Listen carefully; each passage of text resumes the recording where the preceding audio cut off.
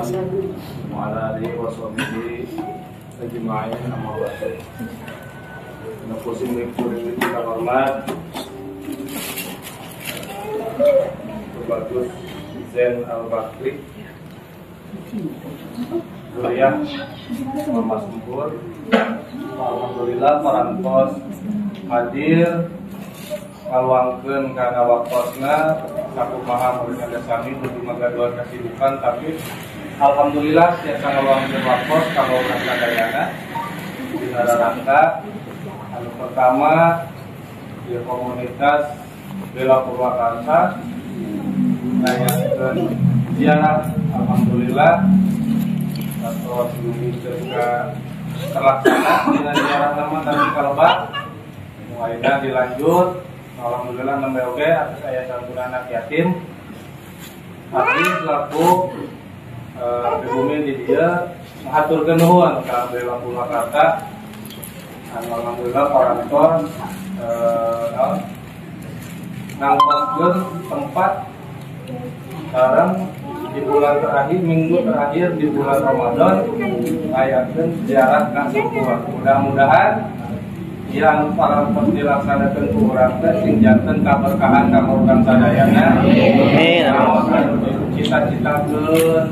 Naon anu urusan-urusan urang mugi sing dihasilkeun ku Allah Subhanahu wa taala. Sekarang ya alhamdulillah selain Tubagus Zain Al Bakri atau hadir di dia kurang disupport oge alhamdulillah si aparatur desa Tempur. Mulai dari kepala desa sekdes eh, sarang kasih kasihnya alhamdulillah disupport bisa kalau besar ya eh, bapak lurahnya desa Tempur Haji Ayah Saifuddin Rama Singkuring Alhamdulillah. Makanya kami atas koordinasi dan segala rutinnya sehingga di acara yang mudah-mudahan dikawin begitu sing akhir di acara sing ayah di kalancaran pada tengah jungkring dana waktos eh, abdi pada nyangakan waktos kanggo bagus Zen Al Bakri kanggo sesi diskusi atau nanti eh, pemaparan silsilah Syekhuna Mama Sempur maka yang akan waktosnya ke eh, Malajar Bagus Zain Al-Bakri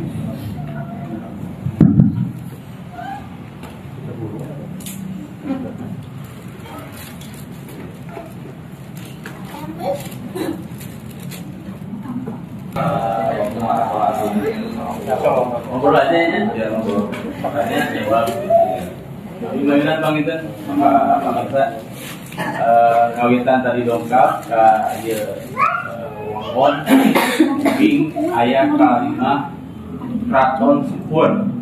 Nah, bagi ieu lampi di Purwakarta. Anu saundingan di Purwakarta di Paku kacang ayah ayah nami istilah kerajaan atau keraton.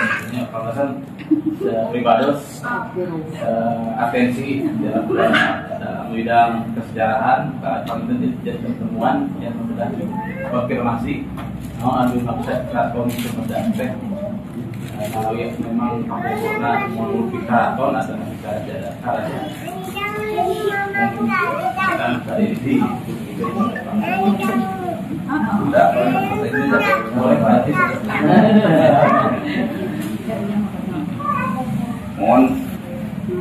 datang Mama Sempurya Anjena kelahiran Jedeko tapi memiliki latar belakang dari keluarga Kesultanan Keraton Kesultanan Banten. Jadi simbol kesultanannya tidak beliau lepas.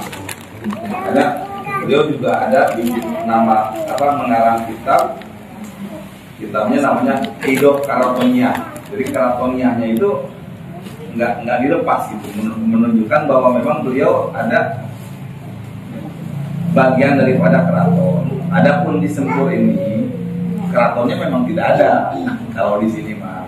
Cuman menunjukkan bahwa beliau ini orang dari keluarga Kesultanan Banten gitu kan yang berdomisili ada di Sempur. Jadi dengan kalimat keraton itu orang mudah bisa berpikir bahwa beliau itu jati dirinya sebagai keturunan daripada Kesultanan Banten. Walaupun memang di sini tidak ada keratonnya. gitu kan. Itu juga fokusnya lebih ke sosok beliaunya, karena tempatnya tempatnya di Sempur ini kan adanya Sempur Keraton itu karena adanya beliau datang ke sini. Kalau beliau nggak datang ke sini, nggak ada namanya nama Sempur Keraton itu tidak mungkin ada, karena yang membawa bendera keratonnya itu kan beliau beliau yang dari Banten asli dinasabnya dari Banten apa lahirnya di Citeko dan pindah ke Sempur karena beliau keturunan keraton Kesultanan Banten makanya dinamakan Sempur Keraton. Kalau misal beliau tidak pindah ke Sempur nggak mungkin tahu-tahu di Sempur ada nama Sempur Keraton gitu kan. Dari mana ininya nggak ada. Seperti itu kan ya. Ini.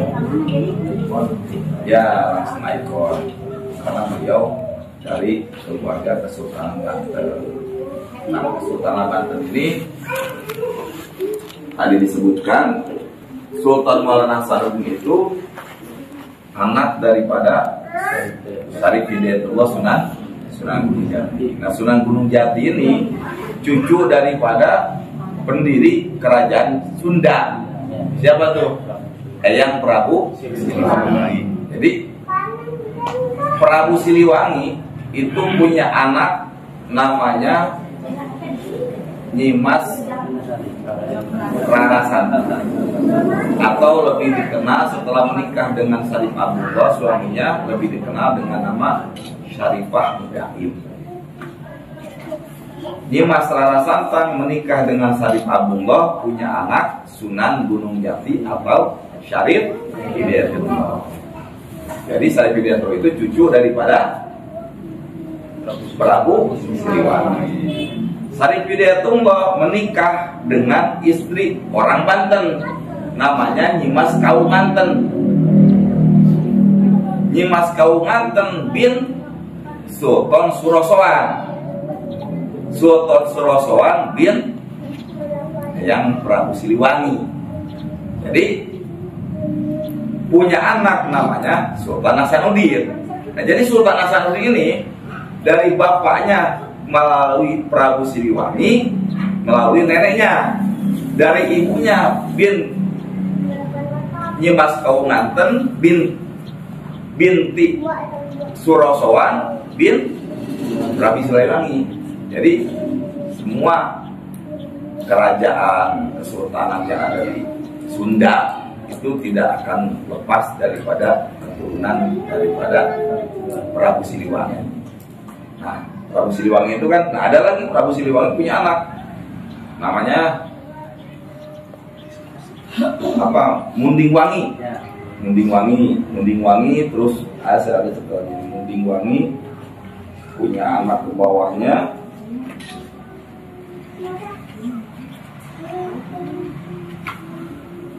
Munding Wangi punya anak kebenaran Raden Raga Mantri punya anak lagi Raga Mantri punya anak Raden Arya Kijis atau disebut Sunan Wanapuri. Sunan Wanapuri punya anak lagi namanya apa? Raden Arya Wir, Raden Arya Wangsa Goparana segala heran, gitu kan? Punya anak lagi Raden Arya Wangsa, Raden Arya Wiratandata atau disebut dalam Nah itu jalurnya sama-sama daripada. Dalam Cikundul punya anak dalam Cikundul satu. Dalam Cikundul satu itu Raden Jaya Sasana punya anak dalam Cikundul dua atau Raden namanya Wiramanggala punya anak dalam Cikundul tiga. Raden Asramanggala punya anak dalam Cikundul empat namanya Raden Sobirudin. Raden Sobirudin punya anak dalam Cikundul 5 namanya Raden Arya atau Raden Muhyiddin. Nah, Raden Muhyiddin. Nah, dalam Muhyiddin punya anak Raden Jaya Negara. Raden Jaya Negara punya anak Raden Muhammad Yusuf atau Baik. Nah, dari dari Raden Ki Muhyiddin punya anak Raden Arya Wiratanu Datar 6 itu kan tadi riwayat nomor 5 Nah, Wiratanu 6 punya anak lagi, Raden Natanagara. Nah, Raden Natanagara punya anak Raden Muhammad Muhtar Katori. Nah, itu Raden Muhtar Katori itu salah satu gurunya Mama Sempur yang bermukim di Mekah, orang Bogor. itu berarti ponakannya daripada Raden Muhammad Yusuf atau Baik Yusuf. Jadi kedekatan keluarga Kesultanan Banten dengan Cikundul itu selain daripada ada pernikahan juga karena memang beliau ini keluarga orang-orang yang mengabdikan dirinya untuk penyebaran agama Islam. Jadi kita dengan Gundul atau dengan Purwakarta atau dengan yang lainnya itu sama, saling berburu lah. Ini juga kan di, di, di sini Mama Sempur berburu ke keluarga Cikundul. Akhirnya keluarga Cikundul juga ada yang ke sini sampai jadi mantu di sini kan. Ngaji Dadi itu kan asli Cikundul gitu. Seperti itu. Jadi dari nasabnya seperti itu. Kalau perempuan Mama Sempur udah jelas banyak lah Mama Sempur itu berburu di antaranya kalau di daerah Sunda ada Mama Bentur gurunya ada Mama Sobari Cibedus daerah Kuningan ada juga gurunya Mama Hasan Basri yang di Sukabumi itu guru ada juga gurunya yang di Cianjur yang bernama Mama Raden Muhammad Gaji Gayam Cianjur itu dulu kalau gurunya yang di Betawi itu Habib Usman bin Yahya. Itu Habib Usman itu guru Mama Sempur langsung. Sekarang ini ada lagi viral juga nih apa? Namanya masalah masalah nasab gitu kan masalah polemik nasab. Sampai ada yang bilang bahwa Mama Sempur itu Habib Usman bin Yahya itu bukan murid Mama Sempur itu tidak dibenarkan. Karena di dalam kitab Hidup Karatonya ini disebutkan bahwa di antara guru-guru Mama Sempur itu di antaranya yang ada di yang ada di halaman terakhir yang ada di Betawi itu Habib Usman bin Yahya itu gurunya Mama Sempur karena sekarang banyak yang menarasikan seolah-olah Mama Sempur itu bukan muridnya Habaib. Karena apa? karena Habaib ini sekarang kan lagi wah dengan apalagi Habib Usman bin Yahya itu fitnahnya luar biasa. Karena beliau seorang mufti mufti di zaman Belanda dengan dibilang antek penjajah dan segala macam dan segala macam. Seperti itu. Barangkali cukup Satu, saya mau nanyakan ini ini rekan-rekan rekrutmen belum pernah saya. Iya, iya. Jadi baru masuk. Iya. Ke tapi udah sadar Cara hubungannya dengan apa kemarin ya? Nah, teman seperjuangan dan memang ada dikurung di zaman yang sama ya. Iya, itu zamannya yang sama. Karena kalau Mama Sempur itu beliau kok mengajar ngaji bahkan atas orang tua saya Mama Sempur itu ngaji sehari semalam itu 80 kitab luar biasa kita seandainya mondok juga 80 kitab itu belum tentu kita hafal namanya aja setahun juga belum tentu hafal gitu kan. Iya. Itu itu 80 kitab. Jadi beliau itu betul-betul mendedikasikan hidup beliau itu untuk mengajar. Mengajar mendidik orang untuk menjadi seorang alim gitu kan. Dan udah bukti murid-murid hampir rata-rata murid-murid yang ada di Purwakarta ini khususnya Purwakarta itu semuanya murid beliau belum lagi yang terkenal yang ada di luar seperti Abu Yadimiyati Bantul, Abu Yabus Komi Bantul, Mama Ahmad, Mama Batu Kurung, Cianjur ataupun ada Mama Tanah Baru Bogor ataupun Mama Mahmud Nawawi dan yang lain-lain.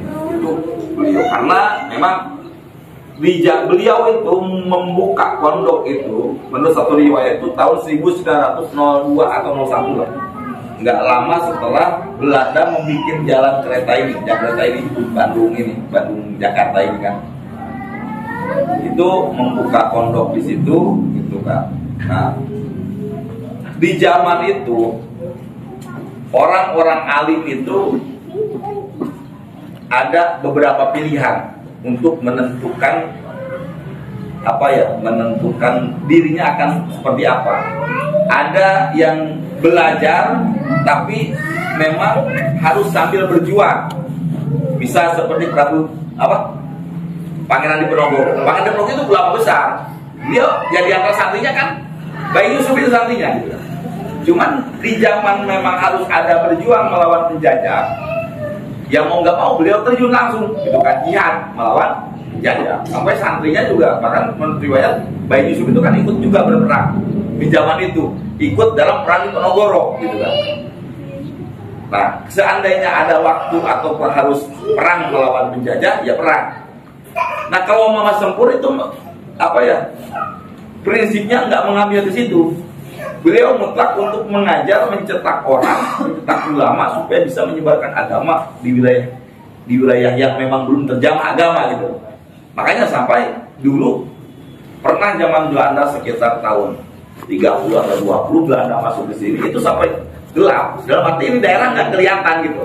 Jadi Mama Subur tuh nggak pernah ketemu Belanda, nggak pernah face to face lah gitu. Ketemu langsung wajah dengan Belanda atau nggak pernah. Karena memang Belanda itu nggak pernah menemukan Mama Subur. Datang ke sini kelihatannya hutan belantara gitu. Karena memang beliau ingin fokus meminta sama Allah supaya bisa mencetak murid-murid. Karena Islamnya belum begitu ini gitu kan. Jadi makanya beliau betul-betul jadi barometer karena apa ya? Hidupnya itu betul-betul diwakafkan untuk untuk belajar ya untuk untuk belajar dan mengajar. Sampai meninggalnya. Itu luar, luar biasanya beliau. Ya seperti itu ya karena beliau memang lebih kan ada ada orang yang memang jadi pahlawan nasional ada Belanda. Kontak fisik. Eh, kontak fisik langsung. Kalau beliau enggak bukan berarti pengecut bukan. Karena memang ada tugas masing-masing. Misal kalau orang berjuang kayak gitu siapa yang mau menyebarkan agama? Karena agama juga penting gitu kan. Kalau semua berjuang untuk melawan Belanda dan yang gugur. Nah, itu kan gimana nanti agamanya? Makanya beliau fokus di situ. Karena yang apa ya yang tugas yang lain memang ada yang isi gitu loh. Untuk pejuang juga ada. Bahkan waktu zaman penjajah beliau punya murid namanya Kiai Makmun Nawawi. Murid berikut mantu tuh yang ada di Cibarusa. Itu Kiai Makmun Nawawi beliau dorong supaya menjadi laskar sabilillah nah beliau tetap di, di ngajar gitu. Waktunya kalau untuk maju untuk makanya zaman tahun 45 laskar sabilillahnya Kiai Makmun Nawawi itu maju. Makanya beliau kalau tidak salah sekarang udah jadi pahlawan kalau nggak salah pahlawan nasional gitu. nah Mama Sempur seandainya beliau tidak tetap mendorong orang gitu. Dan beliau juga pejuang cuman pejuangnya bukan berarti sebagai pahlawan nasional yang tercatat melawan kolonial Belanda gitu kan. Pahlawannya inilah pahlawan ilmunya itu yang yang menyebar sekarang di Purwakarta. Dan memang harus kita tahu gitu kan. Kita harus mengenal orang-orang tua kita dulu kita berasal dari mana gitu itu itu penting buat kita gitu, sebagai orang-orang sekarang gitu mengenal minimal apa ya kita tidak melupakan sejarah bagaimana Purwakarta ini ada gitu kan. Purwakarta itu kan sejarahnya memang tidak keluar daripada alim ulama tidak keluar gitu kan. makanya simbolnya apa tasbih atau ya tasbih itu kan nggak keluar yang pertama ya seperti Raden apa Bayi Yusuf gitu kan. Nah Bayi Yusuf memang di zamannya belum begitu banyak santri karena memang intimidasi Belanda juga di zaman itu lumayan juga dan orang juga belum sebanyak zaman Mama Sempur gitu kan. Kalau Mama Sempur kan santri udah banyak bahkan santri itu sampai 1500 di sekitar tahun 40 50 itu 1500 jumlah santri yang ada di sini. Kebayang kan? Zaman itu santri udah sekian banyak itu kan udah luar biasa gitu zaman itu. Barangkali cukup ya. dari uh, ibu-ibunya Barangkali ada pertanyaan? Mumpung ada waktu ya, kita akan uh, akhiri sampai jam setengah enam ada lima menit lagi karena kita akan bagi takjil di, di depan. ya Mangga Bu Ibu, ada yang bertanya? Mangga. Silakan. Genjet Kang AA Boril Genjet Genjet dari Bandara. Wafatnya wafatnya tahun 75 Desember. Jadi kalau di kalau di bulan Masehi 25 Desember 1975. Di mana namanya SMP kelas 2 Oh, mohon. kalau di kalau di Hijriah Di mana itu? Kalau di Hijriah itu wafatnya 27 Dzulqaidah atau Hafid. Jatuhnya hari Senin wafatnya. Senin Senin siang. Senin siang wafatnya. Cuman memang Kalau di sini Tahun di berapa? Holinnya itu malah tidak di, di biasanya gitu nggak nggak di hari Senin ya malah ke hari Minggu. Karena pada waktu itu apa banyak apa ya request mungkin ya dari orang-orang pemerintahan yang ingin bisa menghadiri awal tapi tidak mengganggu. mengganggu aktivitas. Mungkin jadi harinya di dirubah kalau wafatnya saya tanya di sini aja kemarin ketemu sama orang sini wafatnya. Itu wafatnya hari Senin siang. Senin siang wafat dan dimakamkan malah hari Rabu hari Selasa. Hari Selasa dimakamkannya. Jadi tahlil pertama itu hari Selasa. Kurang awalan minggu jadi jangan awal sebenarnya teu nyambung gitu orang lain. Jadi hari hari memang kan. Lamun poe minggu atau poe poe minggu malam senin oke kan apa posisi nanti ayah kene dalam kaya ruh masih ada jasad gitu. Kurang kan ngesepi di sewa ada mah kudu nama ya itu. Karena namanya ya apa lagi hari hanya gitu kan. Bener-bener pas dia akbarnya harusnya makan akbarnya malam senin. Orang malam malam senin. Malam kayak usaha terus mulai sepi kan pedagang. Untuk itu saya mau nanya, Gus lahir tahun berapa? saya saya tujuh sembilan. Oh, tujuh sembilan. Berarti waktu saya ke sini itu tahun 80-an, 90 sekian ya. Dari saya. Wafatnya tahun ya berapa? itu berapa tadi itu Saya belum ngerti waktu itu saya lihat kesalahan Tadi baru lahir ya? ya masih dini. Jadi waktu masih di Spike. ya Karena kebetulan bapak saya kan di sini. Oh, Santai. tahun. Ya. Bapak saya di sini. Dia gurunya. Itu apa namanya? Saya tahu Mama Sempur meninggalnya bes, apa namanya besok itu baru dikuburkan kan di sana. Tidak saya dekat di Bogor. 75 ya? Tahun 75 ya? Wafatnya tujuh tahun 75 sejajar. Saya belum lahir ya tujuh tujuh Saya pernah ke sini tuh lihat sambil bapak saya. Jadi Lu- Lubina eh, saudaranya Pak Aulia itu dia Fotonya tahun ya ini. 79 minta lah pakai ya? Purwakarta ini coba bayar coba bayar bandingkan Purwakarta kan adem ya kondusif. Itu kan arapur kuyuh gitu. Kalau dibandingkan kadang mungkin saya dengan Kerawang aja agak beda kan karena mungkin atas doa doa beliau. Ya. Kita ini apa bencana tidak terlalu di kita makan ya kondusif lah Purwakarta itu. Kalau bagi pendatang Ini dari para ulama ya? gitu kan? Itu berkahnya doa-doa para Iya, ulama ya para dulu. ulama mulai dulu. beda emang dengan wilayah Karawang Subang. gesekannya emang ini. Nah, kediaman Saya ge udah sudah 32 tahun di sini. keluarga besar.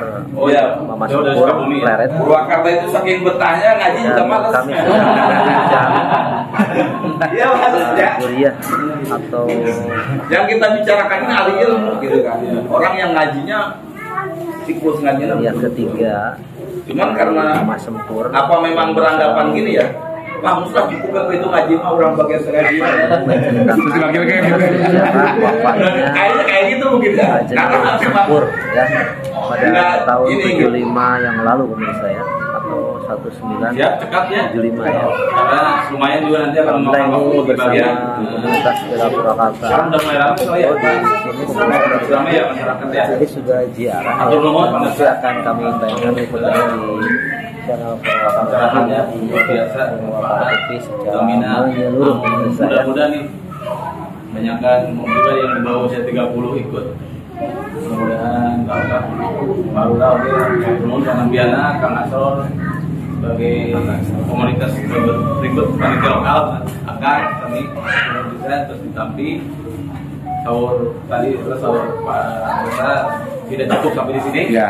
Kita akan berjumpa pada episode selanjutnya. ya mudah-mudahan kita awal lah. Hafid berarti. Hafid. sawal hafid berarti dua dua bulan lagi. Mungkin rame. Karena namun ngiring dia Rasiwasna dari tim sosial media yang sudah populer juga ada Purwakarta Movie. Ya, jadi kalau hal itu kalau dilihat dari pas saya lihat itu mu- kemungkinan jatuhnya di tanggal 1 2 Juni. 1 2 Juni, 1 Juni Sabtu, 2 Juni Minggu. coba di kalender itu itu akhir di bulan Harganya berarti harganya berarti Mas.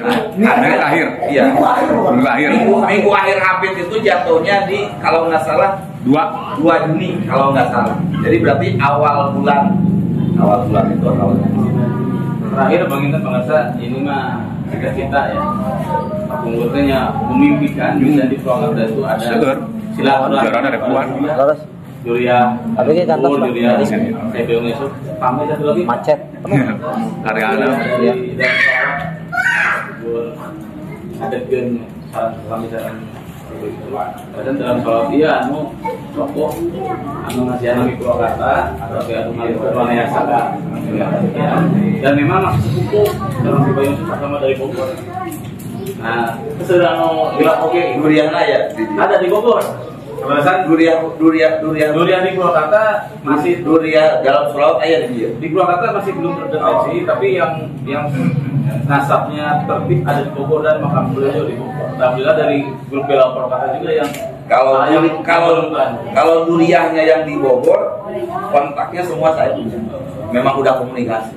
Raden Padma Negara ini Padma Negara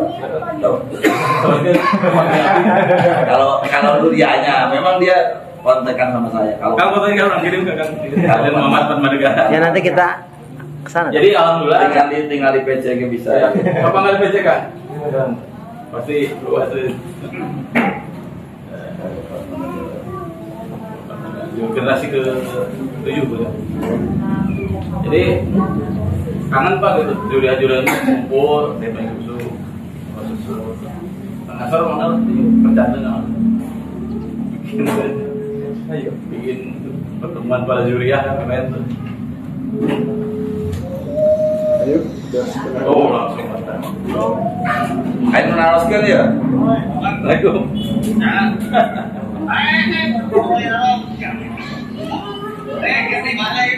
apa kumpulnya jujur kia we Iya kan, kita sekarang grup Bela Purwakarta tuh, Jaro, Jaro. Oh, Purwakarta TV, halo Kang Eri. Oh, Eh, jadi grup Bela Purwakarta di ujung Ramadan mengadakan Jaro ke Sempur. Terusan, benar, terpuluh biasanya sampai bisa. Nyari waktu. Ah, kita mau dikasih. Tadi aslinya yang penting dia teh, ah, ah, kita tuh kangen ingin ada forum ngariung silaturahmi antar juriat saya Bayu Yusuf sama Sempur sedang dalam soawan dalam satu kesempatan sama di Purwakarta. Alhamdulillah tuh terus terus kantun di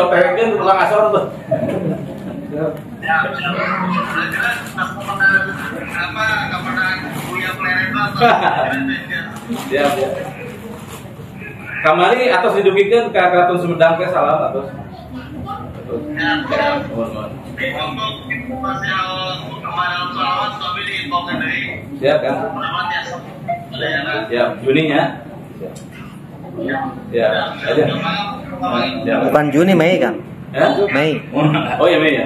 Tanggal 4 Assalamualaikum. Oh. awal Mei. Begitu. Begitu diselamatnya. Oh iya. Ujung. Mohon. Udah setengah enam. Kita. Kita pada kotor sama lo. Oh ya.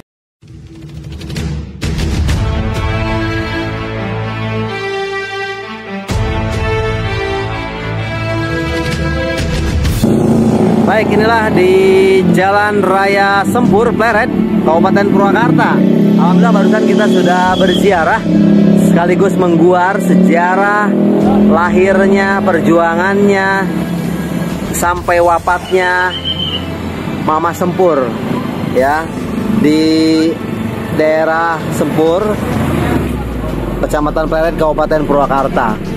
Nanti akan kita kupas tuntas di video berikutnya ya pemirsa.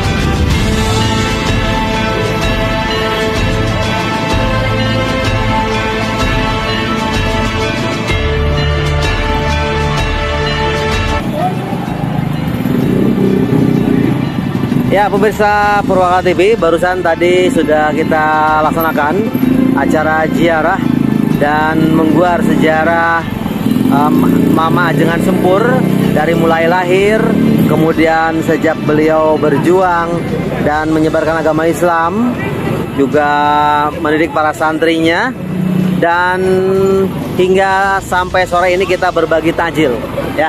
Di sini pemirsa di Jalan Raya Sempur Kecamatan Pleret Kabupaten Purwakarta Jawa Barat